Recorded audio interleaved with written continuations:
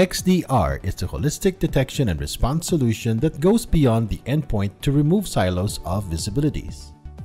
It leverages on advanced analytics like artificial intelligence and big data analytics as well as Trend Micro's extensive smart protection network to provide more detections and faster response.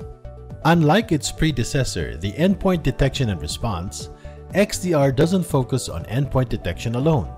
Instead, it enables security teams to detect, investigate, and respond to threats across multiple layers of security including that of email, server, cloud workloads, and network layers. A component of XDR capable of integrating with the endpoints and server security layer is Apex One Endpoint Security. This is the first in this video series on integrating Apex One with Trend Micro XDR. For this guide, we'll be showing you how to set up Active Directory integration with Apex One as a service. Trend Micro Apex One Protection provides advanced automated threat detection and response against growing variety of threats. It consists a cross-generational blend of modern techniques including pre-execution and runtime machine learning, accurate detection of advanced malware, while minimizing false positives and makes it a highly tuned endpoint protection that maximizes performance and effectiveness. It is also important to have a properly configured environment for managing our endpoints through Trend Micro Apex One. Now, to begin, log in to your CLP account and open the Apex One as a Service console. Then navigate to Administration, Settings, and select Active Directory and Compliance Settings. Under the Active Directory Settings tab, enable Active Directory Synchronization. Then click on Download the Active Directory Synchronization tool. Each download will generate a unique tool that will be paired with Apex One. If you download the tool again, Apex One will remove the relation from the previous tool and will always pair with the latest tool. Additionally, AD Sync tool connects to Apex Central as a service via port 443. To avoid any issues, port 443 outgoing towards the Apex Central server should be open for communication. Once the tool has been downloaded, copy the tool to a machine that has a direct connection with the Active Directory server. Extract the tool on a permanent directory since we will also be creating a scheduled task later. After the tool has been extracted, open command prompt as an administrator and go to the directory of the AD Sync tool.